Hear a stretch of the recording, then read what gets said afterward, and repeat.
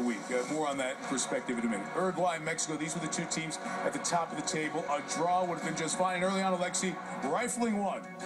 Guardado, great long distance shot. Mexico had a lot of the possession, and then all they needed was one strike, and this is why you have a specialist, Luis Suarez, finishing off the uh, the cross there from uh, Cavani, 1-0 for Uruguay. In the second half, as we move to this Forlan cross here off the free kick, a great, great save by Oscar Perez. Mexico had its opportunities as we went deeper into the match. Yeah, I don't think Mexico necessarily needed to do anything different in this game. They had their opportunities, they had possession, they created well, they had some some interesting crosses and some interesting opportunities. They just couldn't finish.